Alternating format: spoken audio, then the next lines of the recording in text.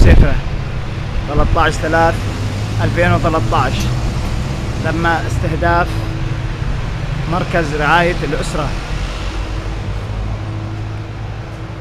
متعارف عليه عندنا في بلدة المسيفرة المستوصف الصحي.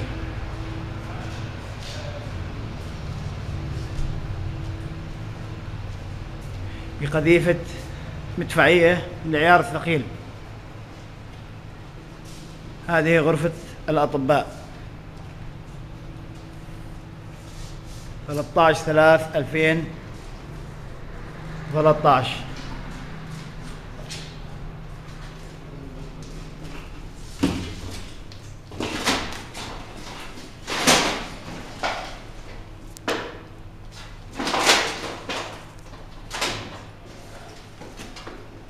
الله يكسر إيدين اللي ضرب.